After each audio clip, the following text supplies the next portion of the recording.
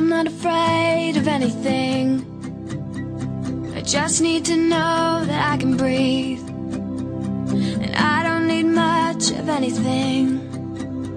But suddenly, suddenly, I am small and the world is big. All around me is fast moving, surrounded by so many things.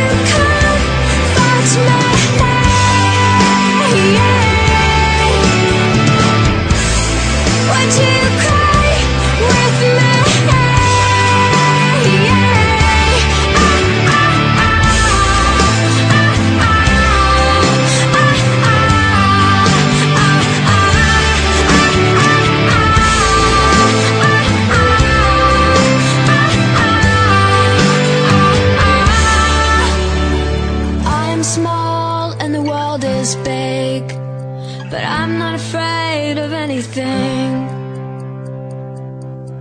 How does it feel to be Different from me? Are we the same?